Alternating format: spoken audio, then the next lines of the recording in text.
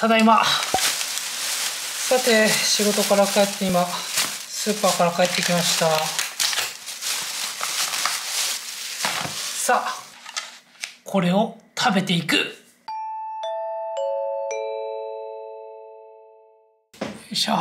さあ今日食べるのはねまずスーパーの鶏の唐揚げ321円。安いね。でね九州来てびっくりしたんだけどお刺身がマジで安い。今日このお刺身のいろんなぶつ切りがあるのがこれが480円。でマグロのたたきが特価で390 400円。だね約。安くない？東京だったらこれで800円とか取るイメージなんだけど最高だね。でそれをお刺身はこう今日はこの九州の売り上げナンバーワン。本当かどうか知らないけどね。これで食べていこうと思います。ただ食べるだけの動画です。腹減った。よいしょ。ちなみにご飯はなしです。炭水化物は抜きです。食べたいけどね。これはねこの小皿に移して全部お醤油で和えちゃいます。その方が食べやすいよね。めっちゃ入ってんな。イカにサーモンにマグロにアジに飛び込にって感じかな。うわすげえな。めっちゃ飛び散る。これに九州の醤油を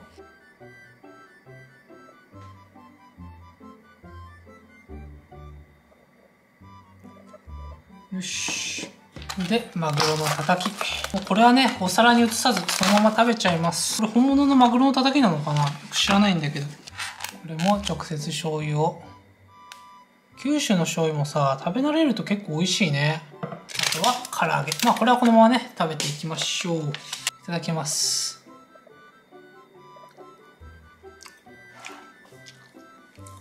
あうまい。トロうまいね。これネギあった方がもっと美味しいけどネギねえや。いただきます。うん。うまいね。これで480円はお得だよね。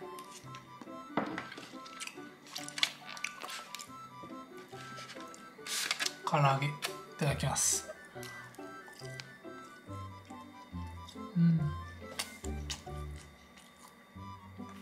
唐揚げは普通だね。唐揚げはパンどこでも食べれる味。っていうかあんま美味しくないね。これは普通に。普通だけど食べれないことはないけど美味しくはないね。これが、うん、この3種類がさ1000円ちょっとで食べれるってすごくない？それは九州の人が東京来たらさお刺身とか食べないよね。もったいなくて。うまいな。僕も仕事から結構全国に、えー、出張行きますけどやっぱあれだね。お魚に関してはやっぱり地方で食べる方がお得感があっていいよね。東京でも食べれないことはないけど、お金出せばね。地方は安くて美味しいものが食べれるよね。スーパーでこのレベルだもんね。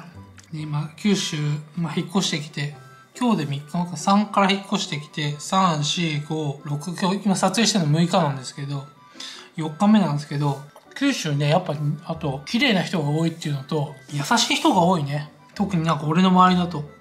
東京だとスーパーとかでさ店員さんとあんまなんか雑談したりすることってないじゃん。こっちは全然話しかけてくる。うん。まあそれが嫌だっていう人もいるだろうけどなんか俺は割と楽しなんかあったかくていいとこだなっていう感じですね。ね、個人的にさ東京の一番いいところっていうのはいろいろあるよ。いろんなものがあるとかそういったいろんなことはいいとこあるけど一番いいとこっていうのは東京って基本的に孤独なところがいいとこだよね。ていうか周りが自分に対して無無関心、うん、みんな自分のことでいっぱいいっぱいじゃん。特にね都心に住めば住むほどそういう感じがする。東京もちょっと田舎行けばね全然田舎だしそんなことないと思うけど。九州がいいっていうかこれは広すぎるね。福岡いいとこだよほんと。マグロのたたきは意外にうまいな。どうせ偽物でしょみたいな感じで買ったからちょっとうまさに衝撃を受けてる。やっぱ九州の醤油はさ こうやって味の濃い脂っこいものと合うね。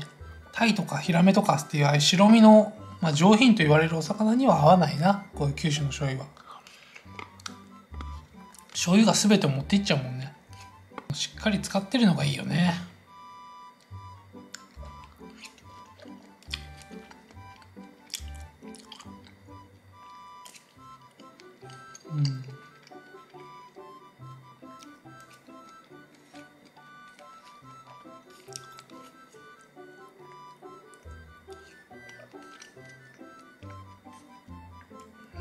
あうまいな。